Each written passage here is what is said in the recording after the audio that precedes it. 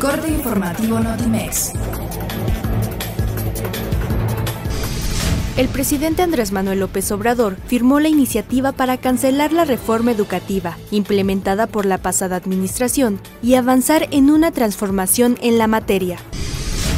La primera ministra de Reino Unido, Theresa May, aseguró que escuchará a los diputados de su partido que no votaron por ella, después de ganar una moción de confianza con 200 votos en favor y 117 en contra. La secretaria de Gobernación, Olga Sánchez Cordero, dio a conocer que se creará el programa Navidad en tu casa, que facilitará el traslado de los migrantes que están en México y desean volver a sus países de origen.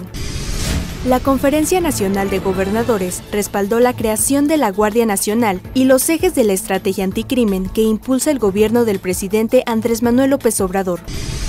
El calendario 2019 de la NFL incluye cinco partidos fuera de Estados Unidos, de los cuales cuatro serán jugados en Londres y uno en la Ciudad de México, informó el vicepresidente de Comunicaciones Michael Signora. El superhéroe Aquaman irrumpirá la madrugada de este jueves en las salas IMAX, con algunas de las secuencias de acción más amplias filmadas tanto en tierra como bajo agua.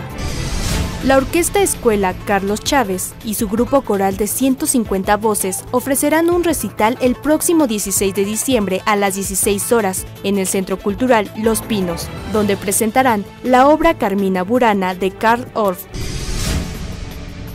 Notimex. Comunicación Global.